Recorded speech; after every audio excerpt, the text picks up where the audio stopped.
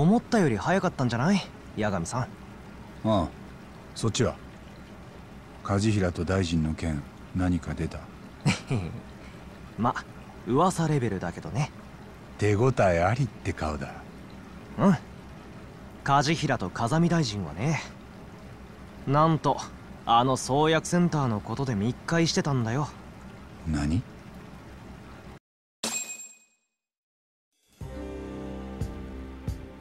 何年か前から梶平グループはでかい再開発計画を立てて極秘に準備していたんだ。都内のある広い土地を当てにしてね。それがここ。創薬センターか。だけじゃないよ。その周辺も。正確には医療システム産業開発機構の敷地全部。でそれを管理しているのが厚生労働省だったってわけ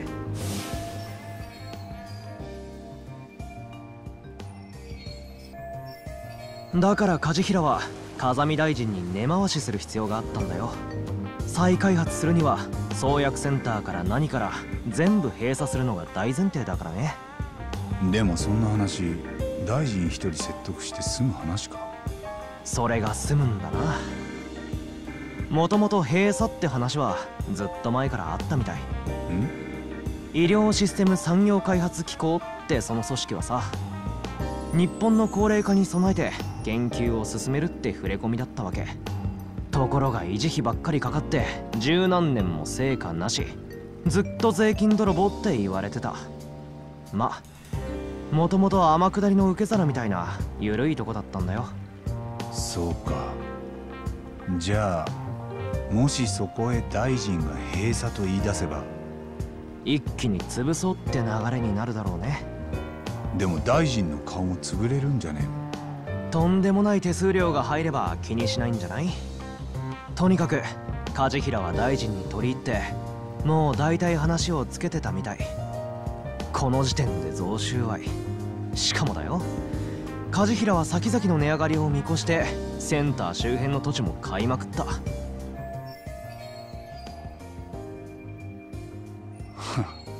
わかりやすい汚職だな。うんでもさやっぱ神様は見てるんだよね。ある日梶平の再開発計画は突然白紙に戻されたんだ。創薬センターを閉鎖できない事情ができてね。その理由がこれ。アドデック9の論文発表。うん。この認知症の薬は世界にとって絶対の正義だからね。風見大臣はすぐ手のひら返してアドデック9を褒めちぎってただから当然創薬センターとかの閉鎖話は立ち消え梶平との密約なんてなかったことにした。梶平は大臣からはしごを外されたわけか。うん。再開発に備えてた投資分もろもろ。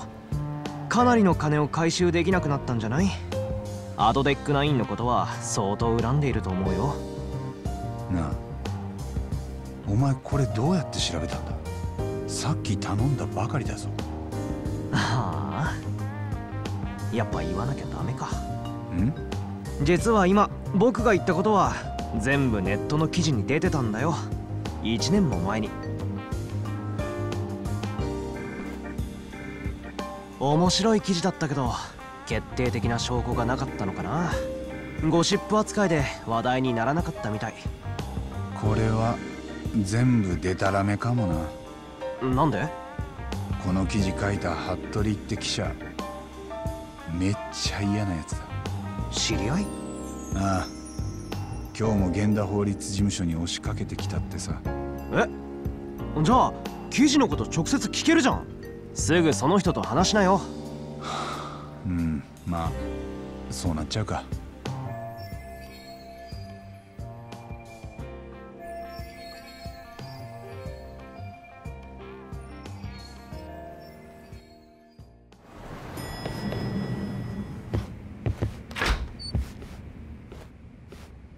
あれ？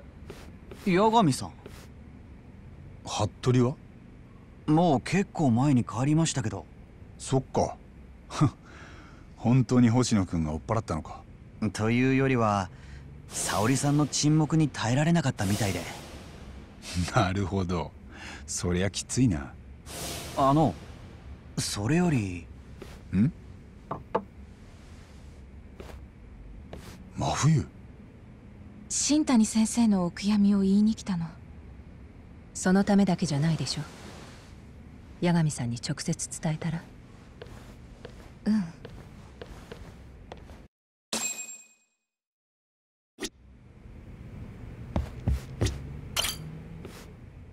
俺になんかあんのか？うん。あのね泉田検事が八神君の逮捕に動いてるみたい新谷先生の件でああそういえば黒岩ってデカも俺を重要参考人だって引っ張りに来た。何がどうなっているの？なんだよそれはこっちのセリフだろ。一応聞くけど八神君やってないよね。俺が？新谷を？うん。やってないよ。よく聞けるなそんなこと仕方ないでしょ。検事なんだから。人を疑うのは仕事上の務めです。で泉田が俺を疑う根拠は？何か証拠でもあんのか？どうかな。なんか私ハブにされてるから。ただ森田検事生まで八神君を疑ってるみたい。嫌われてんだな俺。さすがに好き嫌いで動くほど検察は感情的じゃないはずだけど。まあ八神君がやってないって言うなら安心した。それでも何かあったら連絡して。私で力になれることがあれば言ってほしい。ありがとな。またね。源田先生にもよろしく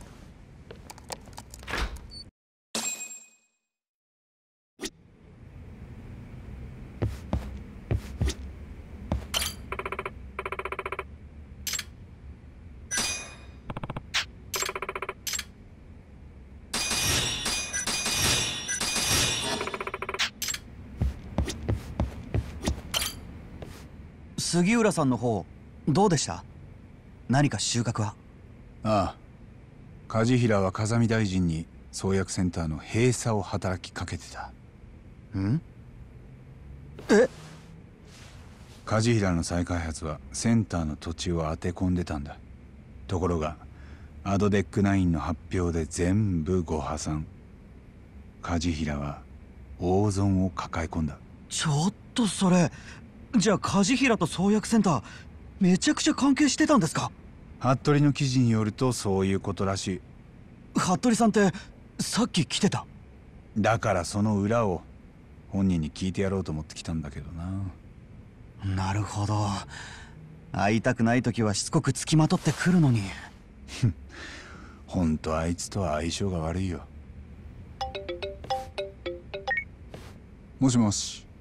八神さん杉浦。ねえ。今源田事務所から女の人が出てったよね。ん？ああ。真冬のことか。名前はわかんない。でも綺麗な人。何やってんだお前。俺をつけてたのか。説明は後で。今その真冬さんがヤクザにつけられているよ。え？ヤクザは4人かもしかしたらもっと僕どうしたらいい？ほっといちゃまずいでしょ。すぐそっちに行く。今どこだ？法律事務所から劇場前通りに向かって。急いでよ八神さん。僕一人じゃどうにもなんないからね。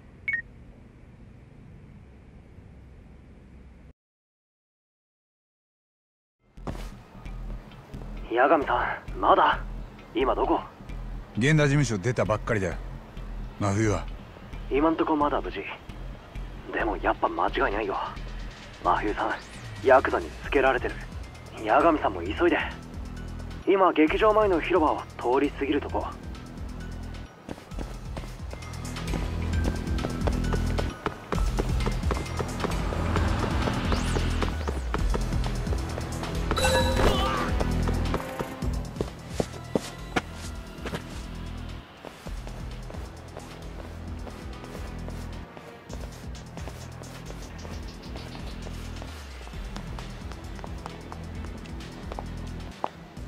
もしもし八神さん。真冬さんは今劇場通りを左に折れたとこ。ああ分かった。なんか彼女をつけてるヤクザ増えてるみたい。4人どころじゃないかも。ヤクザが検事を狙うってどこの組だ？それはまだわかんないけど。とにかく八神さんも急いでね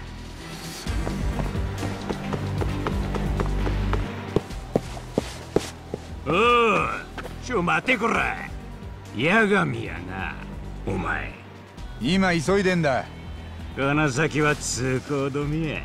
賢治のお姉ちゃんはわしらが先約やさかい。何？早いもん勝ちやで。踊りが引っかんでる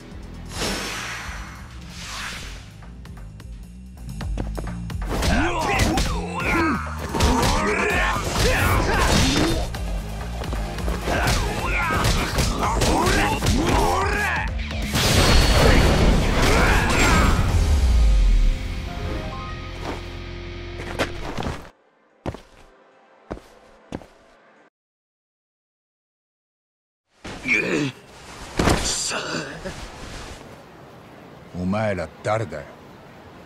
なんで真冬狙ってんだ まだまだ終わっとらんでようどうしたタボ？あカイトさん。面白そうなことやってんじゃねえか。手貸すぞ。ななんやと？ちょうどよかった。ここ頼むよ。こいつらの仲間が真冬を狙ってる。真冬ちゃんが？こいつらの仲間に？とにかくあとよろしく。そっか。真冬ちゃんを狙ってね。じゃあお前らは俺がたっぷり可愛がってやる。踊り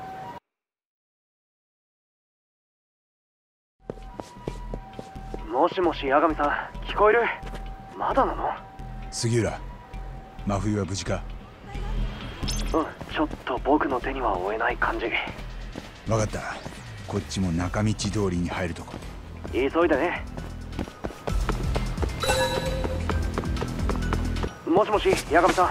気をつけて。ヤクザたちがそっちに気づいたみたい。は？4人八神さんに向かってってる。分かった。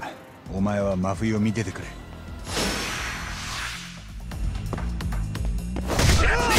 フェッシュ!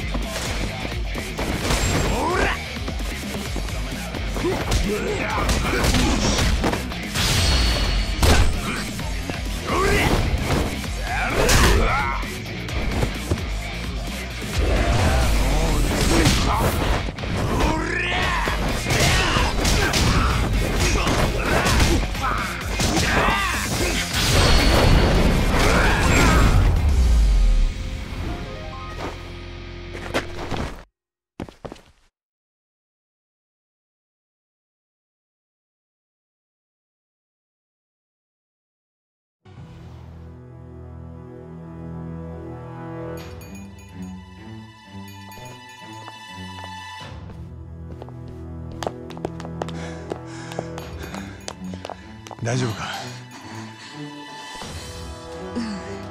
なんとか。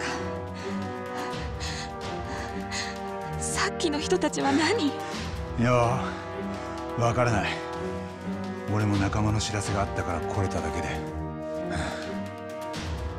海藤さんも助けてくれた。今度会ったら礼言っとけよ。私がヤクザに狙われたの？なんで？悪い。ちょっと待った。八神さん無事？女の人は？杉浦おかげで助かった。ありがとな。ならよかった。僕の方はねさっきのワゴンを追っかけてるとこ。ワゴン？真冬をさらおうとした？そう。もしもし泉田検事藤井です。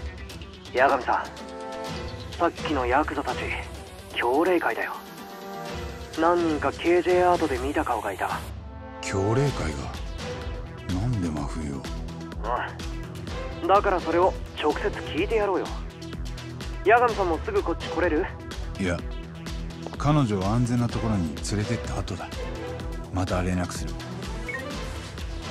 私なら大丈夫。泉田検事が警官を迎えによこしてくれるって。強霊会って関西のヤクザでしょその連中が私を狙ったの？そうらしい。理由は多分。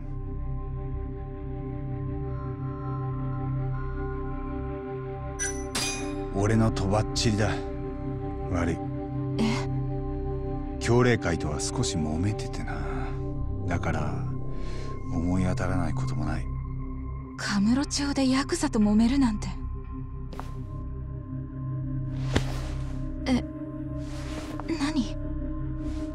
さっき顔殴られてたよな。大丈夫か？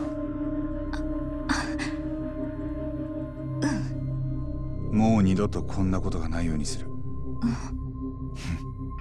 強霊会と話をつけてくるよ。そんなの危ないんじゃないの？私なら大丈夫。もうカムロ町には近づかないようにするし。そうだよ。八神君もこの際少し町を離れたら？お迎えが来た。もう大丈夫だな。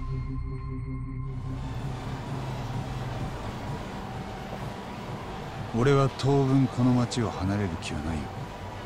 どうして？今追ってるモグラが3年前の事件とつながってきた。3年前のって大久保新平の？ああ。モグラに殺された新谷が創薬センターの小野って研究員に連絡を取ろうとしてたんだ。その小野は大久保の事件で検察側の目撃証人だった。それだけ？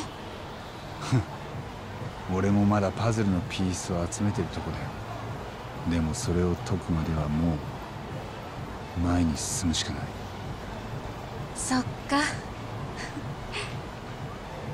3年ぶりかな八神君のそんな顔。ん？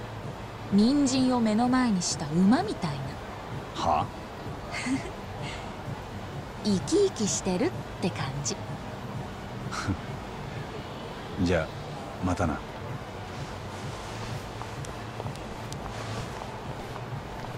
もしもし？杉浦？八神だ。もう動ける。そっちは今どこだ？結局ワゴンはカムロ町から出なかったよ。古いキャバレーでみんな降りてった。公園前通りにある本丸園って店。本丸園？海藤さんも向かってくれてる。よし分かった。すぐに行く。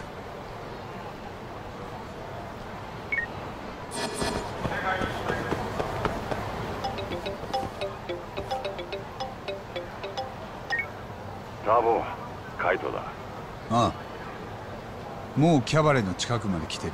そっちは？店の前に着いた。杉浦も一緒だ。分かった。俺ももう少しだ